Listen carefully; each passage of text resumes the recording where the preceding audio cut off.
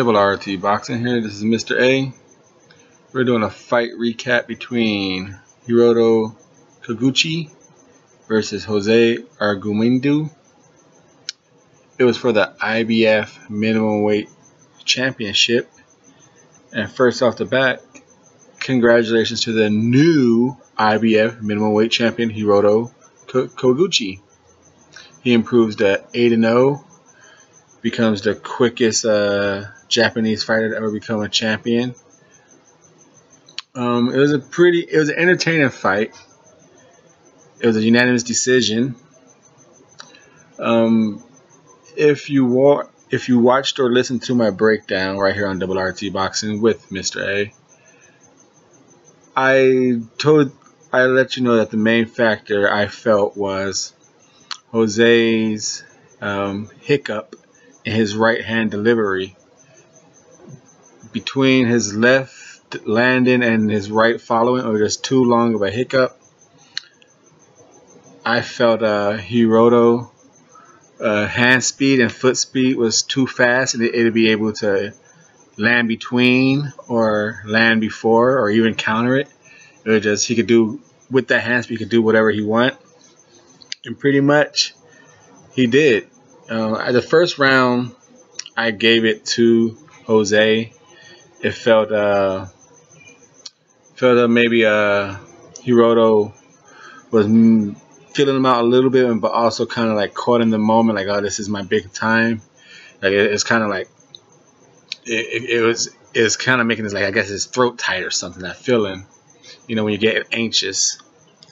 But after that, he just he was just able just to really start picking them apart, timing them,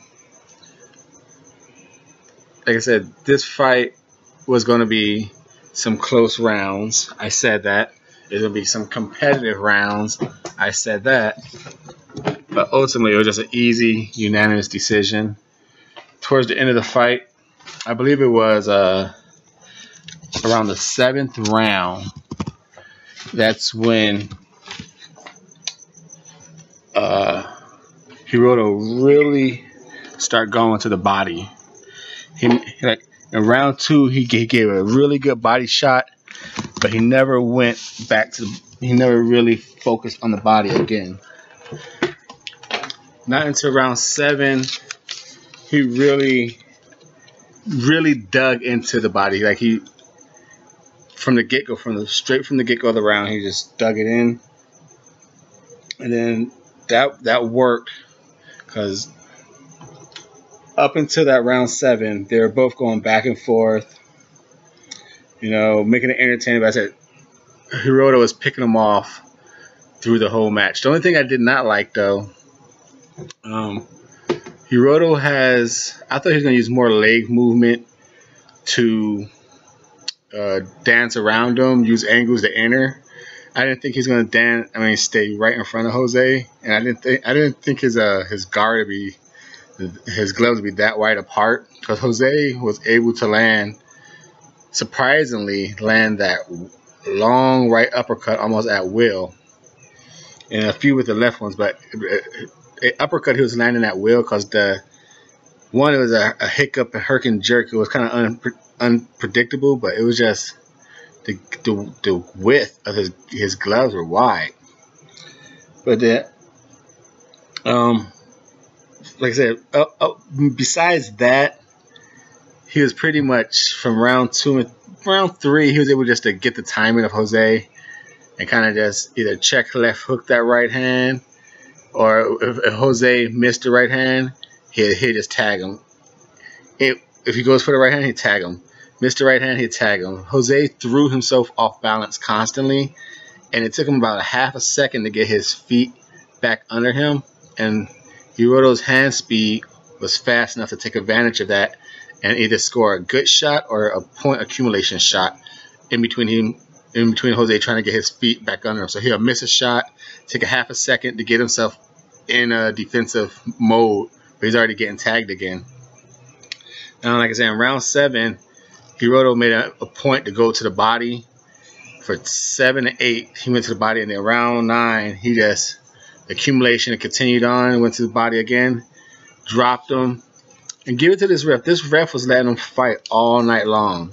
Like the Jose be looking at the ref when they're inside holding, and the referee just let him fight. And he let Jose fight those last like 40 seconds of that nine round. Jose was out on his feet. He was gassed. But he went all 12 rounds.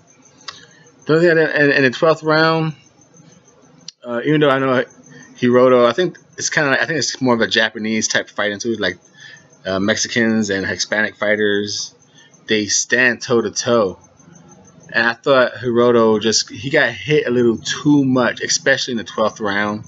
I thought he'd use his feet a lot more and just he made he made this fight uh, entertaining but too hard. He he could have easily beat him how he beat him with better foot movement, and it would have been so much easier because his hand speed. He has all the tools to make that fight anytime he wants to.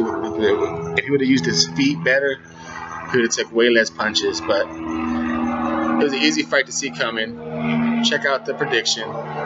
This is Double RT Boxing. Mr. A here saying thank you for your support. Please subscribe.